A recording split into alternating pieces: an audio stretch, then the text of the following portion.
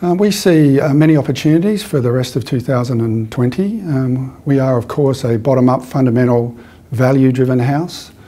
Uh, the st global stock markets around the world uh, are very extreme at the moment. We have had very large outperformance by the US market over all other markets in the world.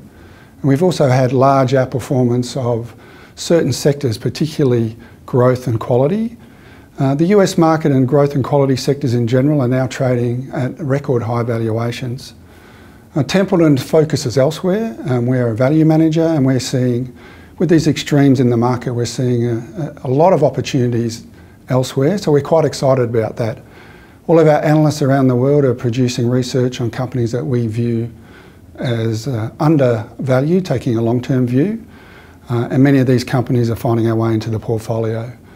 So overall market's quite mixed, but we're seeing, uh, for our investment style, we're seeing an enormous amount of opportunities. I'd like to give you two examples of how we're positioned in the portfolio.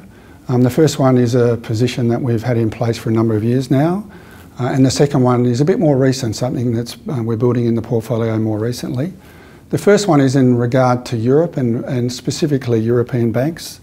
European banking sector has been heavily out of favour since the global financial crisis, and as such, the sector uh, in general is trading at uh, trough valuations.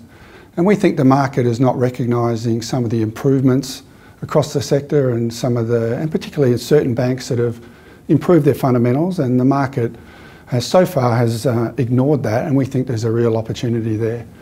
Um, th this position has been in place for in our portfolio for a number of years and uh, through the second half of 2019 this sector and particularly the stocks that we own within the sector in the portfolio have started to perform much better uh, and we expect that to continue and we expect the, the, this uh, positions to add much value to our portfolio over the next year or two. The second area I'd like to bring to your attention is in relation to Japan. It's a more recent initiative uh, for the portfolios. Japan is a market that historically has had a poor shareholder return focus. Uh, but that's uh, all, all, changing uh, and it's been directed by the government, which we think is very significant in Japan.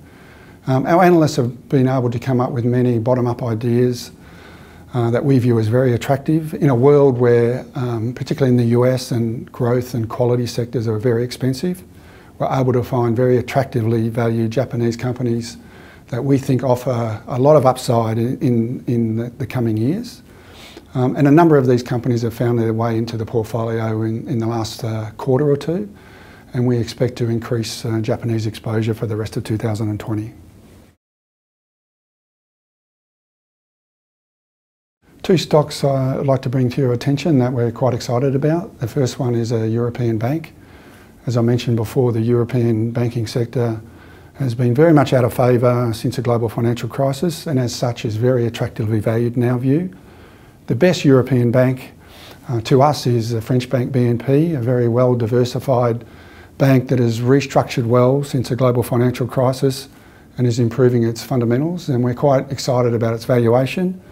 It trades at a 0.6 to 0.7 times book, which is at a big discount to uh, most other global banks, has a dividend yield of above 7%. And we don't think that this valuation that's pricing in any good news whatsoever. And we see a lot of improvement in fundamentals going forward. So we're quite excited about that stock. The second stock I'd like to bring to your attention is Korean company Samsung Electronics a company with a well-known brand around the world. Samsung Electronics uh, has a global leading position in three businesses, semiconductor memory, uh, smartphone, and also display. Uh, Samsung is a stock to us that is very attractively valued, given the leading position in those core businesses. It's also a stock that's now paying a dividend yield of above 3%. That is relevant and interesting to us because the Korean market historically is not a high dividend paying market. So we're seeing a lot of positive fundamental change for Korean corporates that are starting to pay out their cash on their balance sheets, which are generally very strong, in the form of dividends. And we think that's an ongoing driver of the share price.